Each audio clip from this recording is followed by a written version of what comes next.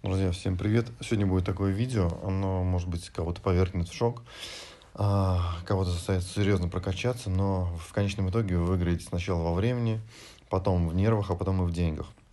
Короче говоря, вам нужно сегодня уволить вашего самого неприбыльного, самого геморройного клиента. Сказать, чувак, мы с тобой работать не сможем, ты очень мало платишь, вот, и все это не окупается, Поэтому, в общем, э, давай, дружок, расстаемся.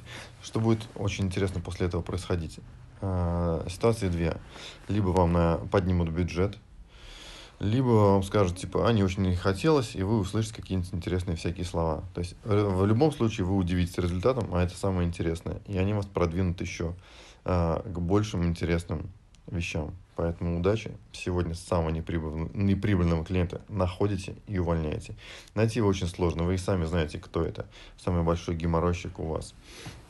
Либо это э, тот, с кем вы работаете в убыток, либо это тот, кто вообще там платит уже 20 год подряд по 3000 рублей в год.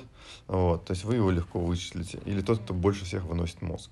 Просто напишите ему э, письмо. Чувак, с сегодняшнего дня мы с тобой работать не сможем, потому что это на, э, наносит ущерб нашей прибыли.